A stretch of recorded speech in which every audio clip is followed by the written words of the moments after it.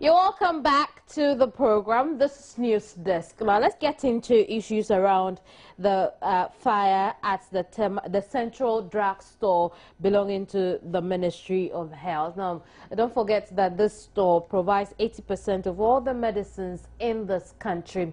We have lost the structure, we have lost the medicines, and now it's time for recovery. But earlier today, I spoke with Prince Billy Anaglate of the Ghana National Fire Service, who told me that they had to stay at fire scene to make sure that no fresh sparks were recorded. A lot more in my conversation with Billy right now.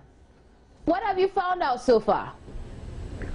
Well, the, we, we are still on the ground. We are we are trying to ensure that um, everything is totally extinguished. We have not uh, been able to achieve that now, but mm. that is what we are doing. Um, we are hoping maybe uh, today we will be able to totally extinguish everything where uh, our investigation that has been initiated will also continue to uh, find out what exactly might have uh, caused this fire. Mm. You, you, tell us you're still on the ground trying to extinguish what you can. Doesn't mean the fire is still is still on.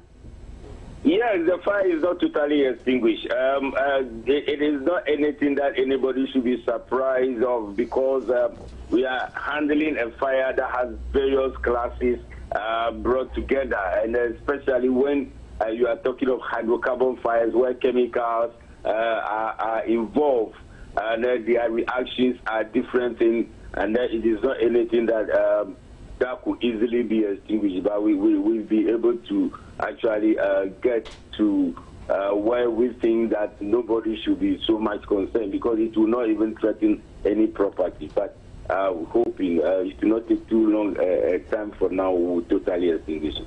Mm, I see. Now, th there have been calls for uh, persons to evacuate the area because then uh, the chemicals could be, the, the burnt chemicals could be poisonous if, if anybody inhaled it. What is it that the, the fire service is seeing from, from that angle? Well, that has been our concern as well. Uh, nobody was able to tell us the, the exact chemicals that have been stored in this warehouse whether they are poisonous, whether whatever they are. Um, our, our, our concern during the fire was to ensure that the fire do not even uh, destroy all other properties within the area. That was exactly what we were doing. But uh, we are hoping that the, the, the, the people that, that, that matter in this, people that are working in this, uh, during our interrogation, uh, they should be able to tell us what it is. So if it is poisonous, as people are alleging, uh, we have worked with it. There were a lot of thick smoke that was that, that was actually you know uh, coming out of this uh, uh, uh, debris that we were fighting, and we were in it. We were trying everything possible to ensure that we extinguish it. We are only praying that it should not be that poisonous that have it has been alleged, because we mm. a lot of us has really inhaled uh, that uh, uh right uh, now yeah. billy speaking of interrogation uh, we also understand that arson could be the possible cause of this fire uh, per your investigation what would you say about that well, um, we we actually do not work on suspicion, do, but every fire scene is taken to be a crime scene. Um, that is why we investigate every. No, but but so far, what what has your investigation proven? Is it in the direction of an arson? Well, the, that one, uh, the technical people on the ground, and we will not be able to say anything immediately until we are able to settle on something. But so are, are you able to tell? Are you able to tell from your uh, primary investigations that indeed uh, a, a possible cause for the fire?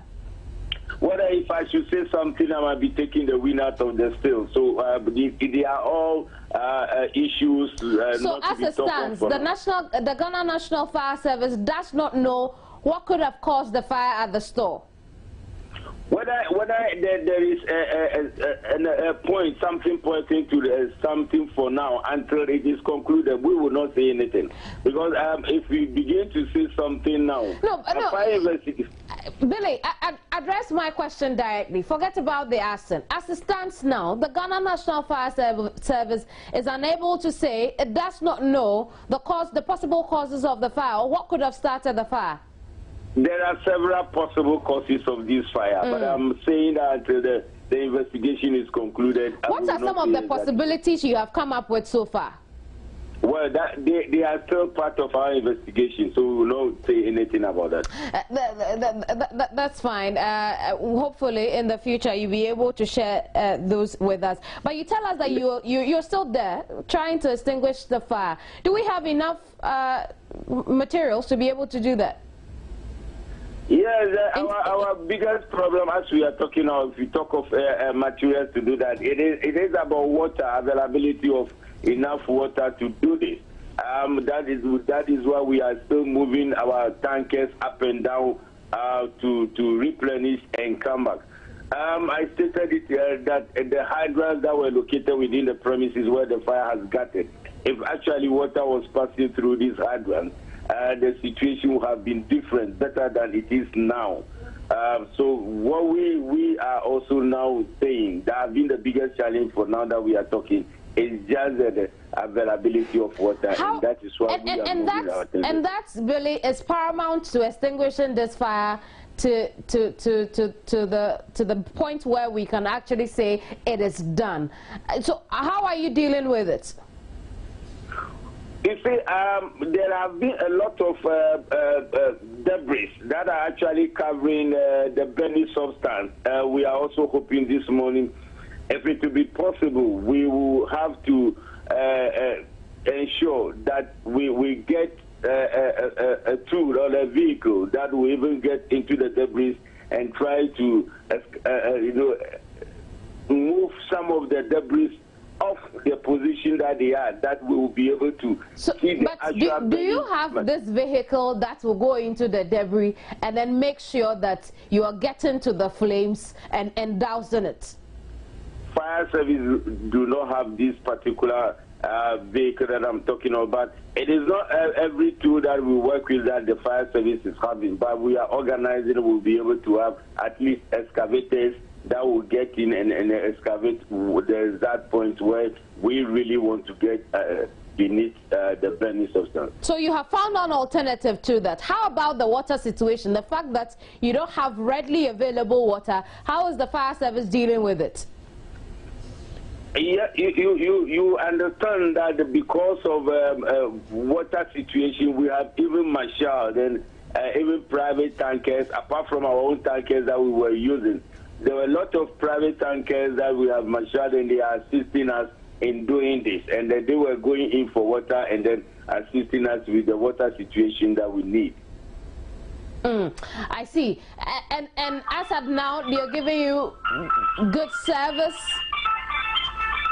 Come again. I'm asking if the service that is being offered by these water private water tankers is good enough to quench the fire or to, to extinguish the fire.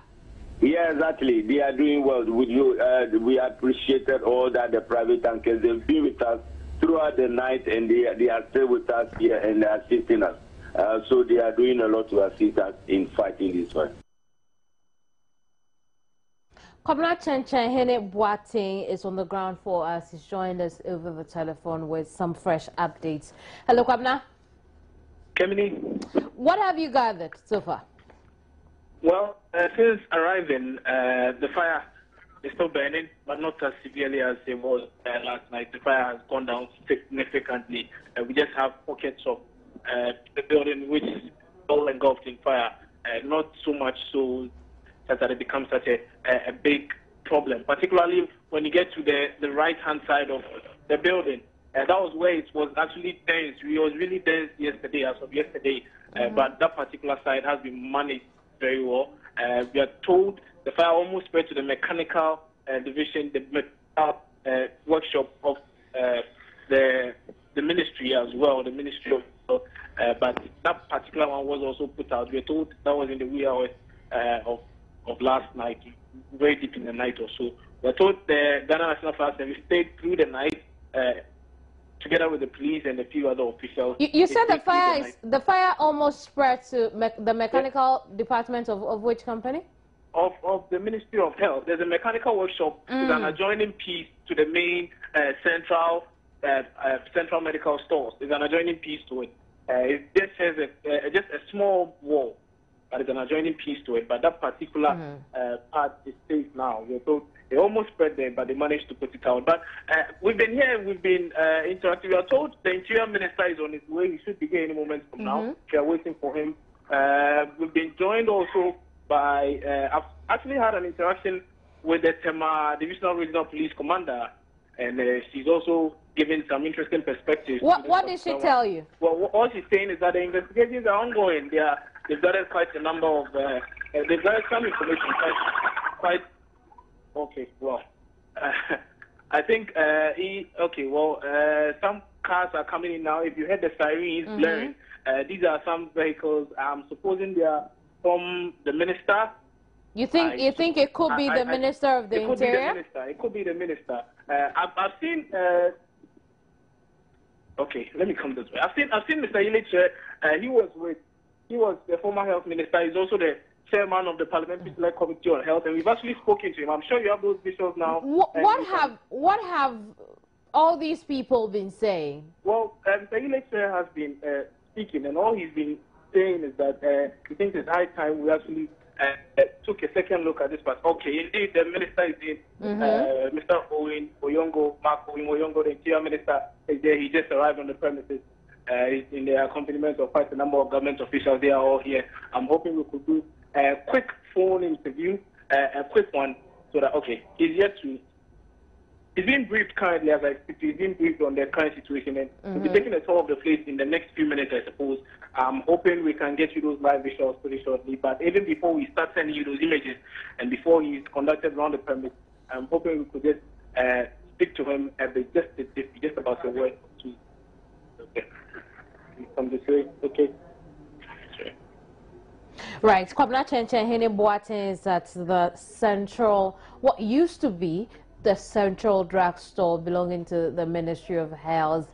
He tells us that indeed uh, the Ministry of the Interior, Mark Owen Woyongo, has arrived there. Pri uh, prior to his arrival, there was uh, former Minister of Health, Yieleh and also he tells us that the Ghana National Fire Service is still at the scene of the fire, trying to extinguish what is left of the building and and, and the properties within it. He tells us that uh, they're, they're doing all they can to douse the flames to make sure there are no fresh sparks. Well, now yes, what, what, yes, what we'll be doing, we're going to bring you those live visuals from there in a bit. But that's it for the hour. Thank you very much for your company. Goodbye.